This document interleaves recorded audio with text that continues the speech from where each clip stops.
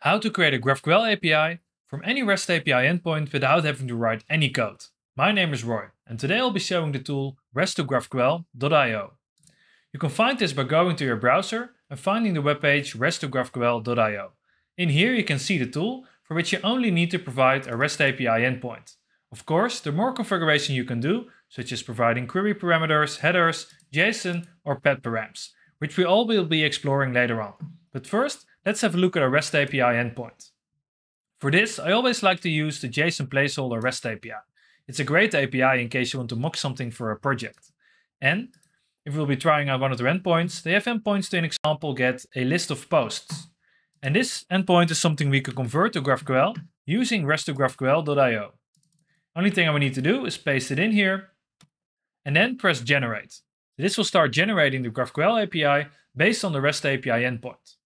It's using StepZen under the hood, so what it will do, it will send a, REST, send a request to your REST API endpoint, convert that response to a GraphQL schema, and then deploy that GraphQL schema to the cloud so you'll be able to query it. Everything will be exposed on this endpoint, which is your new endpoint created for this JSON placeholder REST API. You can either use this JavaScript code, or you can open it directly in your web editor to transform or explore the GraphQL API using GraphiQL. But first, let's try out this JavaScript code snippet that was generated for me. The only thing I need to do is copy paste it and then head over to an editor. In VS Code, I've already set up a JavaScript project. It's quite empty, there's not much special in there. And here I just copy paste the code. That will get my information from typicode and then will get me information from the typicode GraphQL API that we just created. The only thing I need to do then is run node index.js to actually query this information.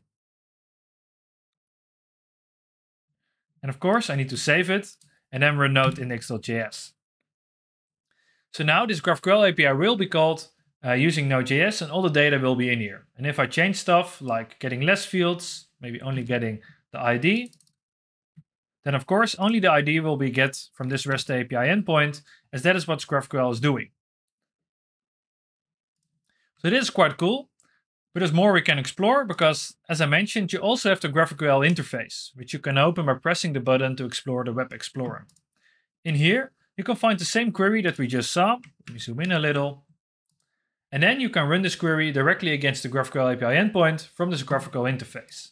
Of course, here we can also delete fields or re-add them again. So this is one very nice way to use the typicode JSON placeholder REST API through GraphQL. But as I told you, there's more we can do. If you head over to the documentation, you can find they also have an endpoint to get a specific post. So what we just did was getting all the posts using GraphQL, but instead we can also get a specific post. So let us start over. And then insert this new API endpoint that gets a specific post, so post with ID 1. For this, I will need to set a path parameter. And as you can see, um, the tool already extracted it for me. The only thing I need to do is tell it using dollar sign what the variable is. So the variable will be the ID, meaning that the GraphQL API that gets generated for me is not only able to get a post with ID 1, but also all the other posts that are available on this API. If we press generate again, StepZen will take the REST API endpoint, get the response, transform it to GraphQL, and then deploy it on an endpoint for you. Meaning that whatever is reproduced, you don't even have to set up your own GraphQL API anymore. You can just use this endpoint that we generated for you. And here you can also see that the query argument ID is there. Meaning that my code has slightly changed. So I would be opening a web editor again. This time I can actually provide an ID. So I can try out sending different values for ID.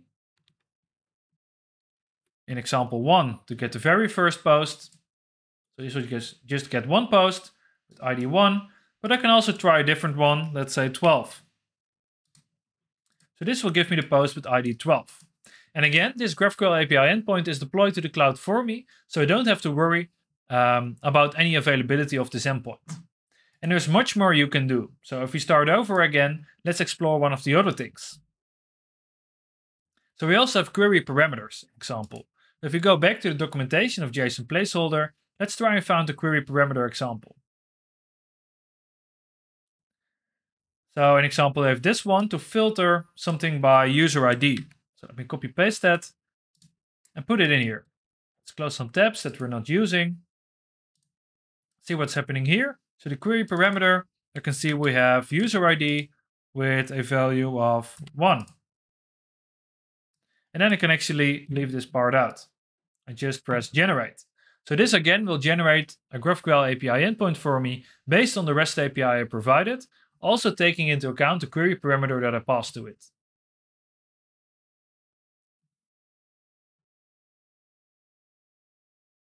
So with this endpoint being built, you can now see a query parameter user ID has been generated.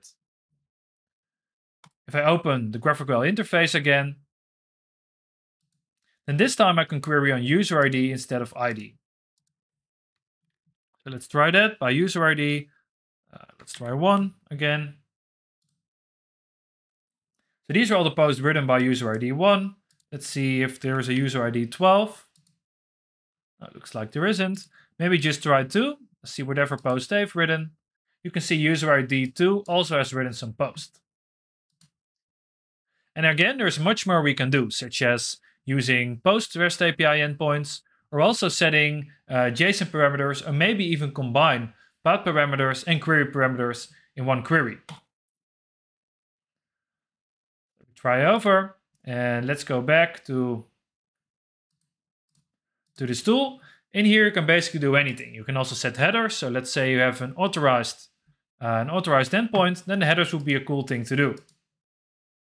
But if you just be heading over to the um, JSON placeholder documentation, you can find other things to do, such as posting a new or creating a resource, something we can do, of course. So let's try it out. Let's do this post API endpoint, do post, add some JSON, which is the JSON we want to post to it, which is basically this part. Copy it, go here, insert it. I can see there is some issue with the JSON because probably I will need to encode it correctly. Make sure I have the quotes everywhere.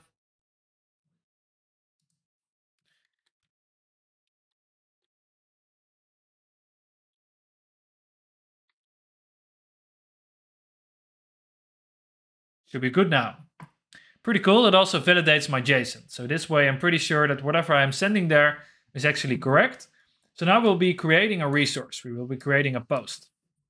For this, of course, you need to set the HTTP method to post, and then you need to define a post body. If I press generate again, the same thing will happen. StepZen will use the REST API endpoint to get a response, translate it to a GraphQL schema, and then deploy it to the cloud. And as JSON, to place, JSON placeholder is a mock API, we won't actually be inserting any posts. Instead, it will just be mocked for you. And here you can see more query arguments have been created. Also, if I be going to the GraphQL interface, you can see more things are generated. And these are all the fields I copy pasted from here. So I have a body, a title, and a user ID. And if I will be using this, I actually need to create a mutation out of it. And then I'll be able to mutate this data. But the schema is not configured for mutation, so I'll just be using a query instead. Query variables are something I can just post to it. So I can say body. This will be a new post. Then I can also do ID, oh, user ID actually, or title. Title, just do new. And then create a final one, which is the user ID, which is one. Prettify all this, and then sending it to the API. And you can see the response is there, but the data actually won't be added. So I will be going back to my GraphQL API endpoint generated for posts. It will have a different response. And as I told you, you can actually generate a, REST, a GraphQL API for any REST API endpoint. So now we've been using the JSON placeholder API, but let's try something different like the Rick and Morty API, just by copy pasting some of their API endpoints to get a list of characters, in example. Just replace it, run generate again, and this time not the JSON placeholder REST API will be used to create the GraphQL API, but instead we'll be using the Rick and Morty REST API. That of course will have a different data response. And then you can see my um, generated code has changed. I'm using a Rick and Morty API now. I'm getting a lot of different fields and I can also explore it again in the browser. And then something else, something is really cool that you can do is also share this page with your friends by copy pasting the URL or even posting it to Twitter, as I might be doing just now. So this opens up my Twitter. It will take the endpoint I just generated, and then I can tell everyone how cool it was that I actually created something with rest2graphql.io. I would just be tweeting this.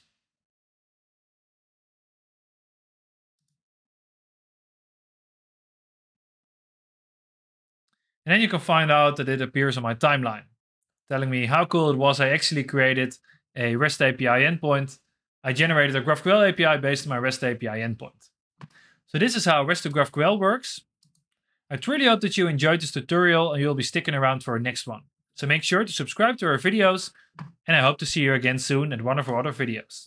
Thank you.